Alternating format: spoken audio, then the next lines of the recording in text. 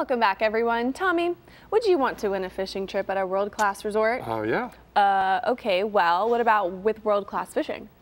Even better. Even better. All right, well, you tell your friends. And I'm going to tell mine right now. Harbor Trucks has partnered with Casa Vieja Lodge to send two lucky winners to Guatemala for a four-day, three-night trip to fish with Rick and me at Casa Vieja Lodge. All you have to do to enter is go to our website at floridainsiderfishingreport.com.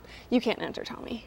No? Sorry. Oh. No, you're one of you're like part of the crew. I'm gonna enter anyways. Maybe people I'll get, would be upset. Yeah, you should enter. Yeah, send your wife. Yeah, there I we go. love that. That'd be so That'd much be fun. Cool.